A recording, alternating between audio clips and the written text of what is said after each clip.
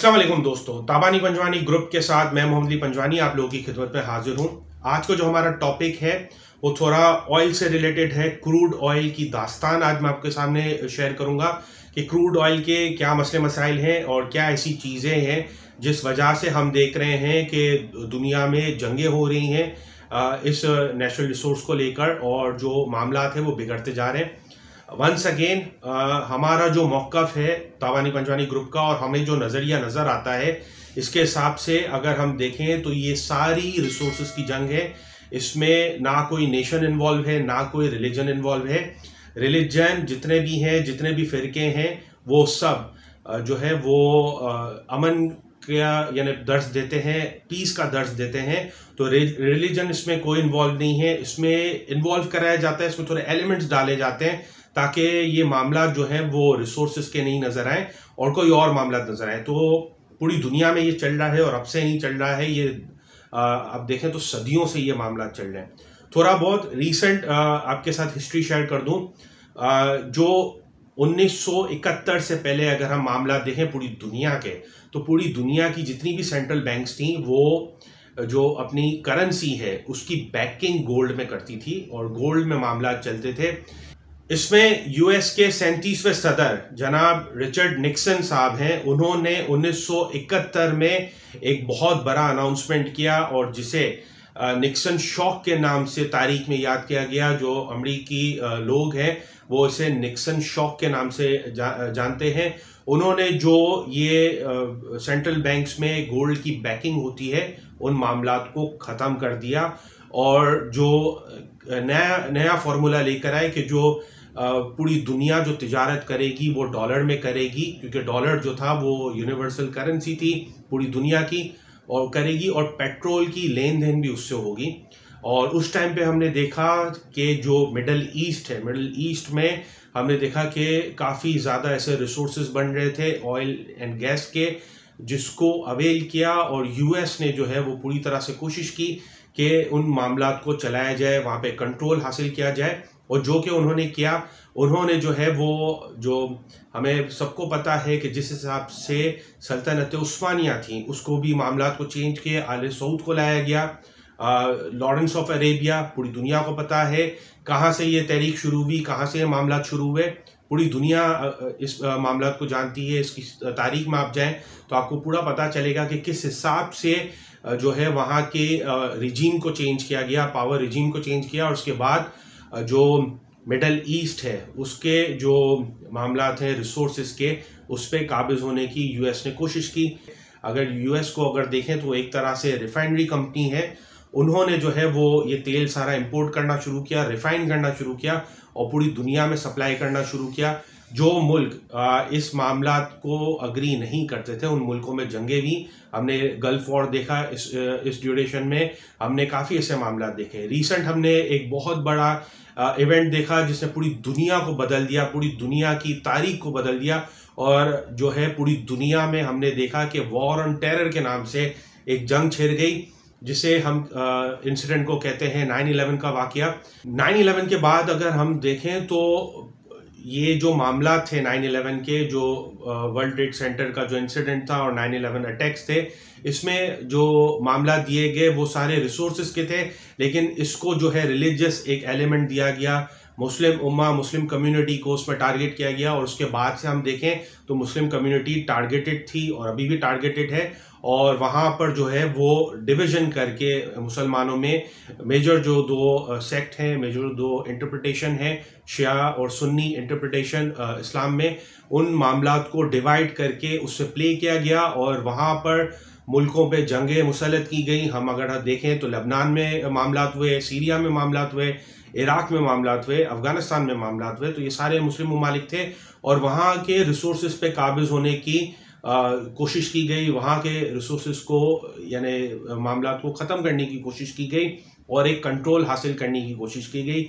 2008 में अगर हम देखें तो यूएस से ही सेंटर्ड हम देखें तो एक इकोनॉमिक बबल था, जिसे हाउसिंग बबल कहा जाता है। हाउसिंग बबल जो है वो बर्स्ट हुआ और उसका पूरा इम्पैक्ट पूरी दुनिया में आया। इसके बाद हमने देखा कि जो दो सुपर पावर जो है नेक्स्ट सुपर पावर जो बनने जा रहे थे उन्होंने इन चीज़ों को रियलाइज़ किया कि किस हिसाब से यूएस से ये सारी मैनिपुलेशन मेंटेन होती है मामला चलते हैं और जो आ, मामला चलाए जा रहे हैं वो किस हिसाब से रिसोर्सेज की जंग है रिसोर्सेज के मामला थे। तो चाइना और रशिया ने कोशिश की कि वो दोबारा वही सेटअप लाने की कोशिश किया जाए जिसकी बिगाड़ शुरू की थी यूएस के सैंतीसवें प्रेसिडेंट जनाब रिचर्ड निक्सन साहब ने, उन्होंने जो है अपनी करेंसी को बैकिंग देना शुरू किया गोल्ड से।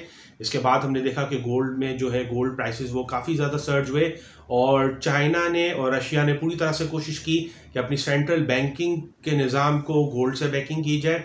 अभी भी हालिया अगर हम देखें तो प्राइम मिनिस्टर इमरान खान साहब भी जो है वो इसी मॉडल को अनकरीब अपनाना शुरू कर देंगे। जो कि हमारे जो हमारी इकोनॉमिक है, हमारी माशी सूरत हाल उसके लिए काफ़ी ज़्यादा बेटर होगा। वो इन मामला पे गए और उन्होंने जो है स्लोली ग्रेजुअली जो यूएस ट्रेजरी बॉन्ड्स थे, उनको कन्वर्ट करना शुरू किया गोल्ड में और गोल्ड में इकोनॉमी को बैकिंग देना शुरू किया।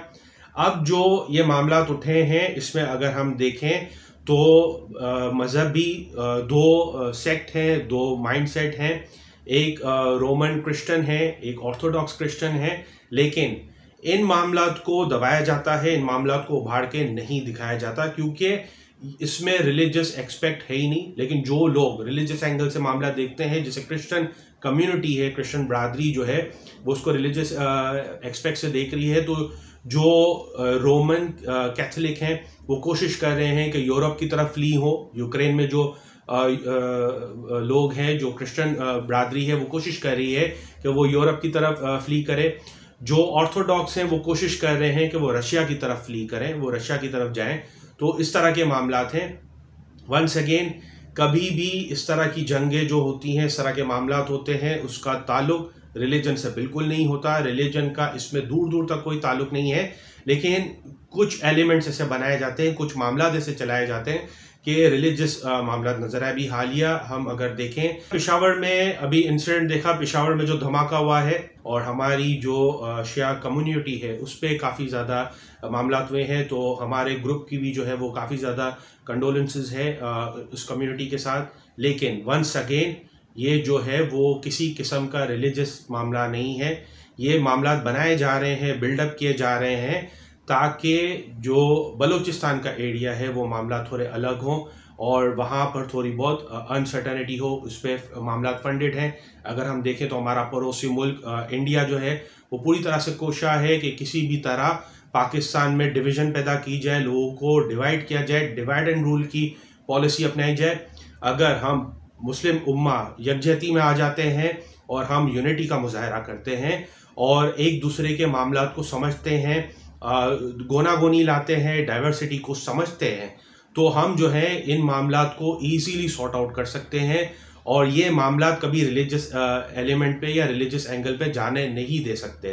तो हमें जो है बहसत पाकिस्तानी, हम सबको यूनाइटेड रहना है, पूरी दुनिया को मेरी तरफ़ से यही मैसेज है कि हम सबको यूनाइटेड रहना है, इसमें रिलीजन का दूर दूर तक कोई ताल्लुक नहीं है, ये मामला बनाए जाते हैं वो एलिमेंट्स को पिन पॉइंट किया जाता है जो कि वहाँ के लोगों की, वहाँ के मुकामी लोगों की वीकनेस होती है। दोबारा थोड़ा टॉपिक पर आते हैं तो क्रूड ऑयल के जो मामला थे वो इसी तरह से बनाए गए। कोशिश किया गया क्योंकि पूरी दुनिया में जो है ये फॉसल फ्यूल वो पाया जा रहा है और अभी भी उसके मामला थे। लेकिन दिखाया ये जा रहा है कि ये जो फॉसल फ्यूल है वो स्लोली ग्रेजुअली हमारे दुनिया में ख़त्म होता जा रहा है। इसके जो मामला हैं वो स्लोली ग्रेजुअली ख़त्म होते जा रहे हैं। वो दिखाने का एंगल ये है कि क्लीन एनर्जी पर लेके जाना है यूनाइटेड नेशन भी कोशिश कर रहा है कि सी ओ टू एमिशंस जो मुल्क ज़्यादा निकाल रहे हैं, उन पर पाबंदियाँ लगाई जाए। इस वजह से हम देख रहे हैं कि कोल के प्राइसेस भी सर्ज हो रहे हैं और कोल माइनिंग बंद हो गई है। काफ़ी ऐसे ममालिक हैं जिन्होंने कोल माइनिंग बंद कर दी है, जिनको ये खतरा है कि यूनाइटेड नेशन उन पे सेंक्शंस लगा देगा सी ओ टू करने की वजह से तो वो भी ऑल्टरनेट एनर्जी की तरफ़ जा रहे हैं। तो पूरी दुनिया एक तरह से देखा जाए तो क्लीन एनर्जी की तरफ़ जा रही है।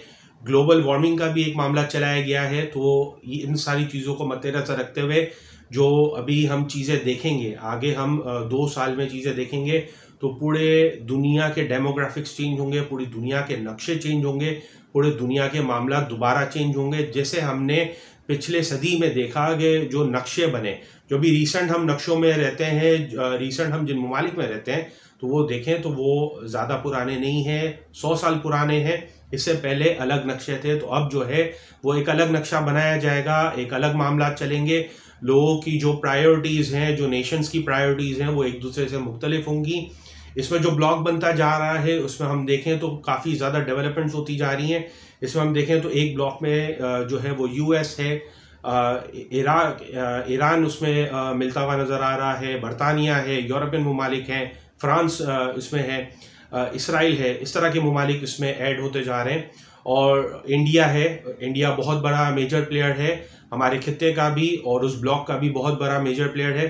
दूसरे ब्लॉक में अगर हम देखें तो पाकिस्तान है, रशिया है, तुर्की है, मलेशिया है, चाइना है और श्रीलंका है। और अभी जो लग रहा है कि सऊदी अरब भी जो है, वो इस ब्लॉक में आने की इस ब्लॉक में शमूलियत इख्तियार कर लेगा। तो पूरे दुनिया के डेमोग्राफिक्स चेंज हो रहे हैं वंस अगेन ये रिसोर्सेज की जंग है और ये जो मामला थे वो दो नज़रियों पे डिवाइडेड है। इसका रिलीजन से कोई ताल्लुक नहीं है। तो मेरी पूरी दुनिया से ये अपील है कि जितना हो सके एक दूसरे के रिलीजन एक दूसरे के अकायद को, एक दूसरे के फ़िरके को हमें गोना गोनी से देखना होगा। हमें डाइवर्सिटी डाइवर्सिटी को जो है वो प्रमोट करना होगा। हमें एक दूसरे को अंडरस्टैंड करना होगा। हमें एक दूसरे के मामला को समझना होगा, एक दूसरे को स्पेस देना होगा। और एक दूसरे के जो बिलीव्स है बिलीफ सिस्टम है उसकी रिस्पेक्ट करनी होगी। तो ये हमारी तरफ़ से ताबानी पंजवानी ग्रुप की तरफ़ से आप लोगों को मैसेज है। इसके साथ अगर हम देखें तो क्रूड ऑयल के यही मामला हैं। आगे जाके जो है पूरी दुनिया क्लीन क्लीन एनर्जी पे जाएगी और पूरी दुनिया के जो मामला हैं, वो चेंज होंगे। सी ओ टू और डिफरेंट चीज़ों के हिसाब से पूरी दुनिया जो है वो चेंज होगी। तो यानी कोशिश कीजिएगा कि आप जो है अकॉर्डिंगली बिहेव करें। जो आप बिज़नेस करते हैं, आप जो काम करते हैं, आप सरमाकारी करते हैं तो आप अकॉर्डिंगली करें। उम्मीद है आपको ये वीडियो अच्छी लगी होगी। मजीद वीडियो के लिए हमारे इस ग्रुप तावानी पंजवानी ग्रुप को ज्वाइन करें। हमारे चैनल को लाइक करें सब्सक्राइब करें बेल आइकन को हिट करें कमेंट सेक्शन में अपने कमेंट्स आगा करें। शुक्रिया।